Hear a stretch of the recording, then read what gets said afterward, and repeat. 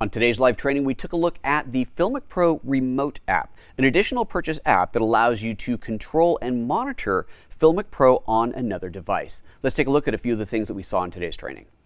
You can hit there to start recording, and it starts recording that video. You can actually pause the recording, and then you tap on device, so I'll tap on device, and then you tap on remote control, and you enable that. And when you enable that, immediately it comes up over on the uh, iPad or other device, I should say, and it shows PhotoJoseph's iPhone 10. So let's go ahead and do the split view in here so you can see the two different devices. So I've got my white balance control.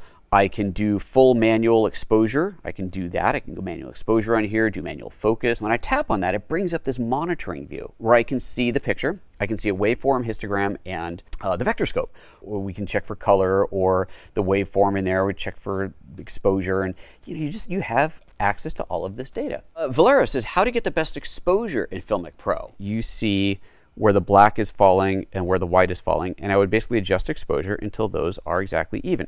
To see this live training in its entirety, head to photojoseph.com slash LT1906 or click the link down below or the one up here. It'll take you right there. And if you've missed any of the previous live training sessions on Filmic Pro, just head to photojoseph.com and click on the Filter by App drop-down menu and choose Filmic Pro. You'll see all the training that we've done there. To see all of that training, you can sign up as a member of photojoseph.com and that will give you unlimited access to all of the live training for not just this session, but all other apps that we've looked at in the past. We'll see you around.